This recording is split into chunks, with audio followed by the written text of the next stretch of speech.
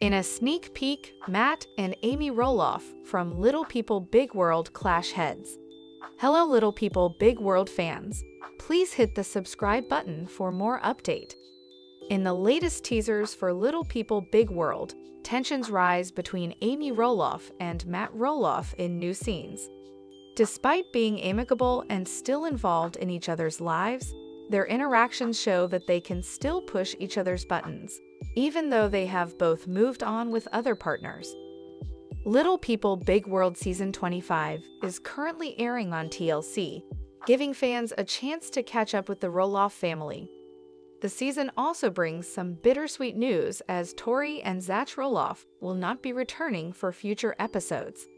Viewers also get to see Matt Roloff's decision to turn a portion of Roloff Farms into a short-term rental property, a move that has proven to be successful so far.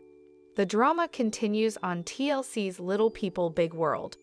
Promotional clips for the upcoming episode of Little People Big World hint at a charity collaboration between exes Amy Roloff and Matt Roloff turning into a headache. The tension highlights why their relationship didn't work out, leading to their eventual divorce and new partners.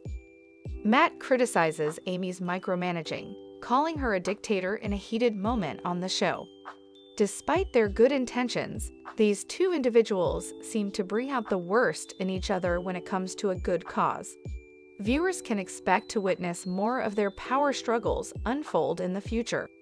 According to Amy, there can never be too many leaders or bosses, as she is not afraid to assert herself and take charge. However, this assertiveness also applies to Matt Roloff, creating a conflict that is sure to result in drama as they both vie for control. Thanks for watching these videos.